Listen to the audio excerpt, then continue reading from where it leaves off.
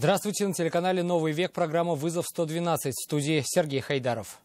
И сегодня мы покажем последствия аварии на улице Большая Крыловка.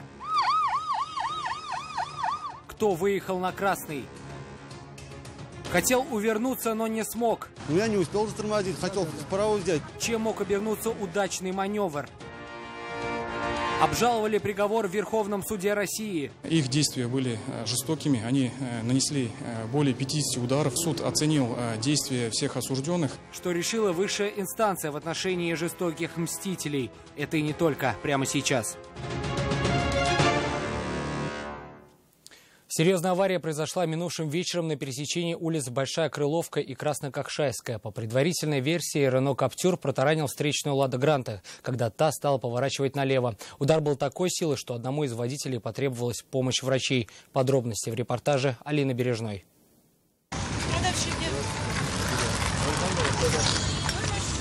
На место аварии оперативно приехала бригада медиков. Их помощь понадобилась водителю «Лады Гранты». Автомобиль получил сильные повреждения и после столкновения отлетел к ограждению, едва не задев других участников дорожного движения. Учитывая, что весь удар пришелся на правую сторону отечественной машины, пострадавших могло быть гораздо больше. Однако по счастливой случайности в автомобиле такси не было пассажиров. Травмы получил лишь 38-летний шофер. Осмотрев мужчину, медики решили отвезти его в больницу. Досталось и водителю Рено, однако от помощи врачей мужчина отказался. Он сказал, что двигался в прямом направлении в сторону Рокчино на скорости 70 км в час. Уже на перекрестке на его пути оказалась Лада Гранта. Такси ехало навстречу, стало поворачивать налево.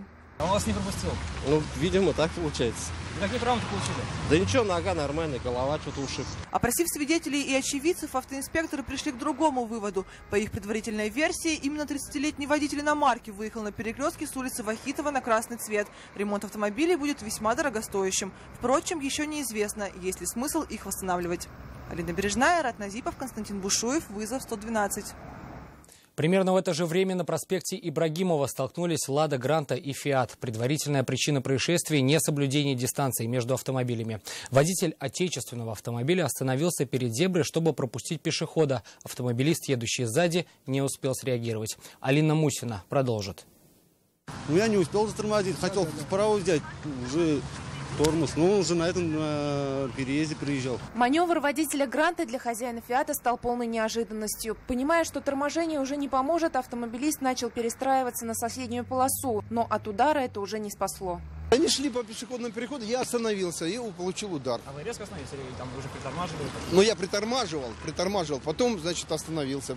Ну, у меня достаточно было времени до пешеходного перехода, вернее, расстояния, чтобы остановиться. Водитель «Лады» рассказал, что причиной остановки перед зеброй стали пешеходы. Отметил, что действовал по всем правилам дорожного движения и виноватым себя не считает.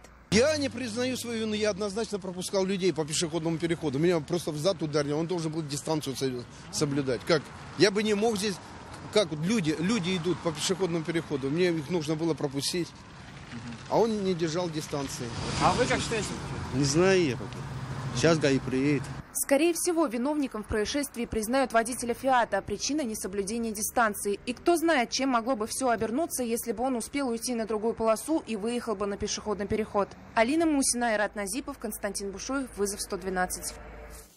Еще три автомобиля столкнулись на проспекте Ибрагимова по принципу домино. Фургон Volkswagen догнал Ford, а он в свою очередь столкнулся с автомобилем той же марки. По рассказам участников аварии, избежать столкновения помешала как внезапная остановка первого автомобиля, так и скользкая дорога. В результате ДТП никто не пострадал.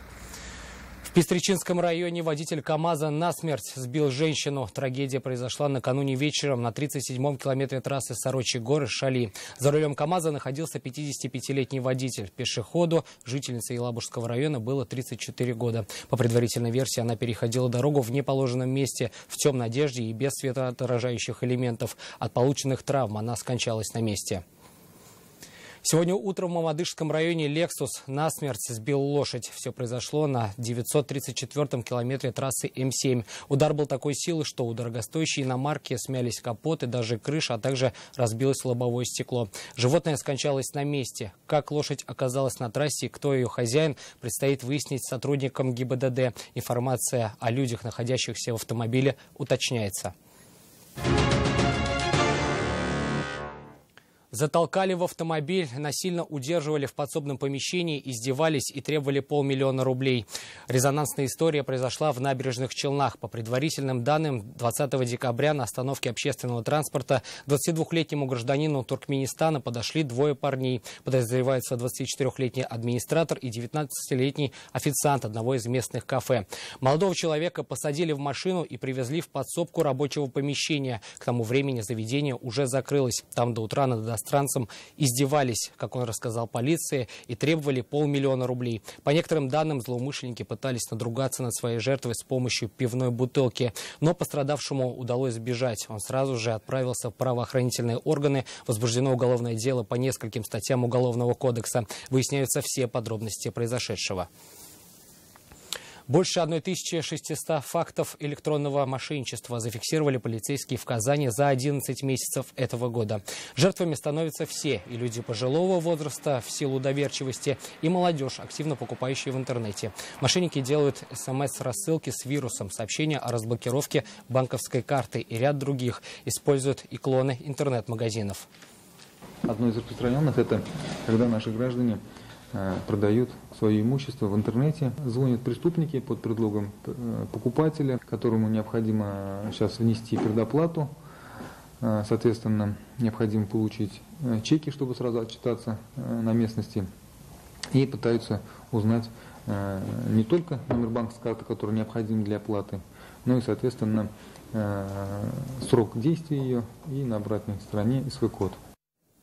Полицейские напоминают, для того, чтобы перечислить деньги на карту, нужно просто знать ее номер. Все остальные данные строго конфиденциальные, в том числе и коды подтверждения операции, которые приходят на телефон, и сообщать их никому нельзя. Именно эти данные дают доступ мошенникам к содержимому счетов пластиковых карт.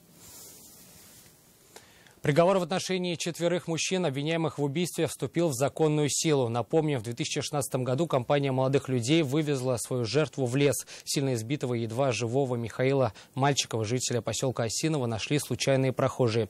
От полученных травм он скончался в больнице. Приговор вынесли еще в октябре, но подсудимые были не согласны со столь строгим наказанием и обжаловали его в Верховном суде Российской Федерации. Что решил суд, узнала Алла Рыкова.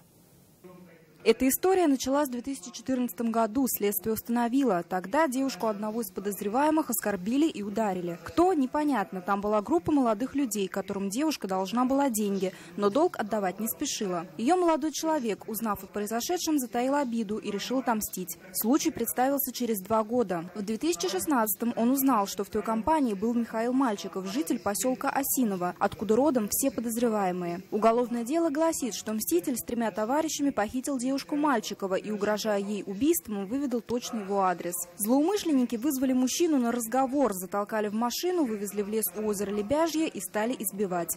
Их действия были э, жестокими. Они э, нанесли э, более 50 ударов. Каждый около 15 ударов нанес впоследствии убитому мальчику руками, ногами, обутыми в обувь, в том числе с использованием металлического предмета, похожего на гвоздодер.